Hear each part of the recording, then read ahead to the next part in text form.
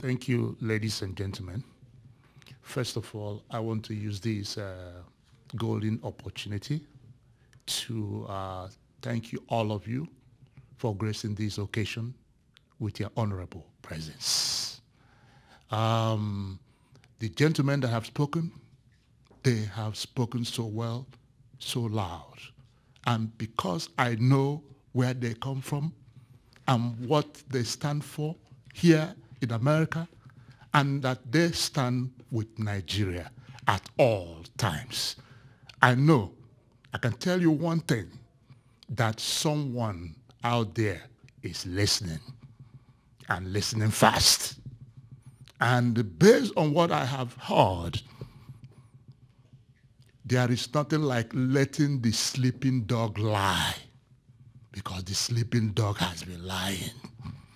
It is time to wake up the sleeping dog. Certain flagrant mistakes have been made in facts and in law based on what I've heard from these legal luminaries. And based on that, having said that, haven't heard from them, I know that some people will eventually take their steps back and begin to do the right thing.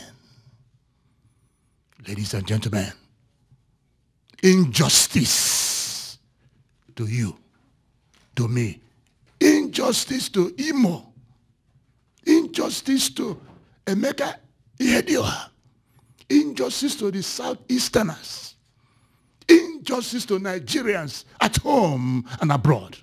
Injustice to all, anywhere is injustice to everybody all over the world. Injustice has no permanent address. It's floating. If it's not you today, it is someone tomorrow.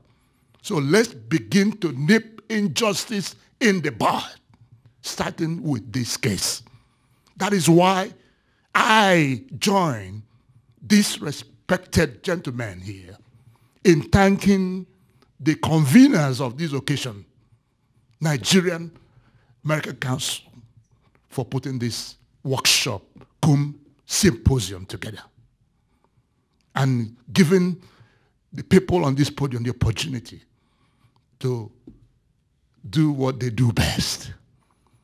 So the time is right to bring to the podium the chairman of Nigerian American Leadership Coalition for Justice and Democracy. He is also a longtime activist and frontline NADECO chieftain. Ladies and gentlemen, put your hands together for Professor Eddie Oporoji.